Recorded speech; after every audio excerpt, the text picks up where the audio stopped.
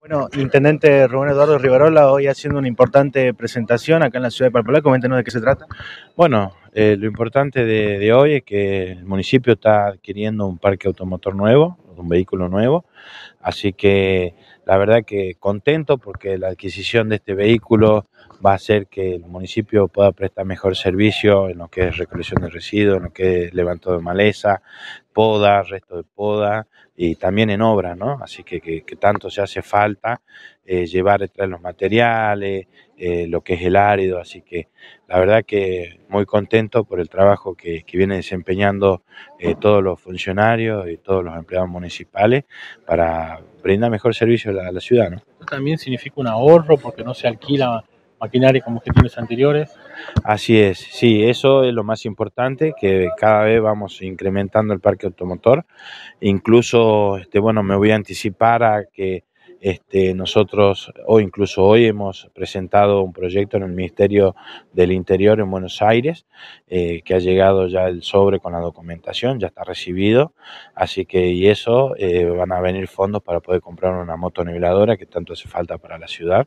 Así que si Dios quiere y en breve también vamos a poder contar con un vehículo nuevo, así que la verdad que nos está yendo bien, es una gestión que, que avanza y, y, bueno, creo que los resultados están a la vista de todos los palpaleños. ¿no? Intendente, ¿qué tipo de vehículo es? ¿Ya se encuentra en óptimas condiciones para su uso? Sí, este es un Mercedes-Benz, un Atego, ¿sí? un 1722, y eh, la caja volcadora es nueva, ¿sí? es, es, recién salida de fábrica, así que la verdad que está listo para usar y bueno, ya a partir de, de estos momentos ya se va a ir a trabajar como corresponde. ¿no?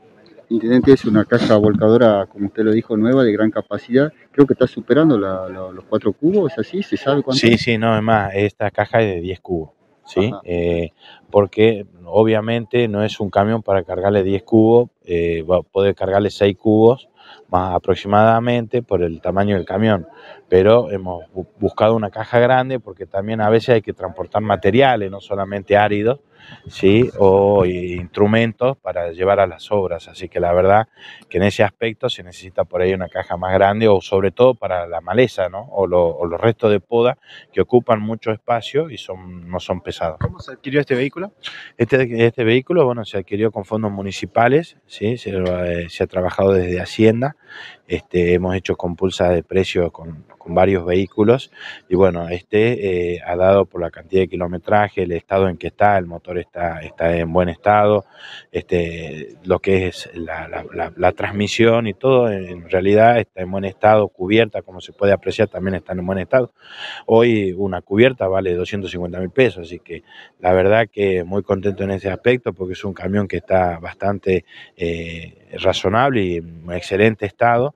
Y bueno, sí hemos eh, comprado la caja en Buenos Aires, en la fábrica Baco, sí que es el que mejor presupuesto nos no ha dado.